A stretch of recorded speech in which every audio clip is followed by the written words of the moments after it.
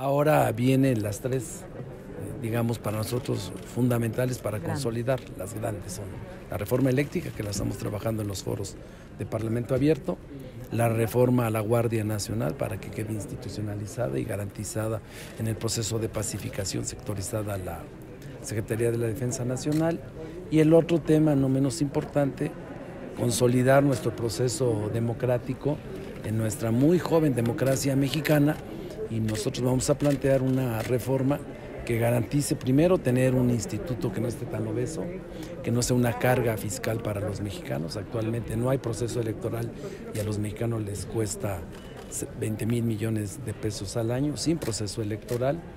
Revisar parte de eso es revisar el financiamiento de los partidos políticos. Hoy mismo nosotros estamos pidiendo, exhortando a la Comisión de Reforma Político Electoral que acelere una, una iniciativa que presenté yo y el grupo parlamentario para que tenga la oportunidad Morena, de poder devolver 500 millones de pesos, porque el INE se negó a recibirlos y transferirlos a la tesorería.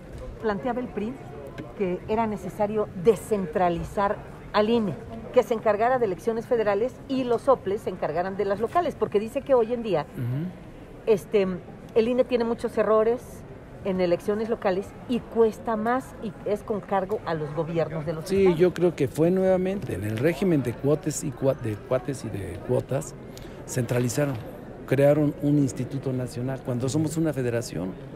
Tenemos 31 congresos locales que son este, autónomos, soberanos, que pueden decidir cuáles tienen certificado de mayoría de edad.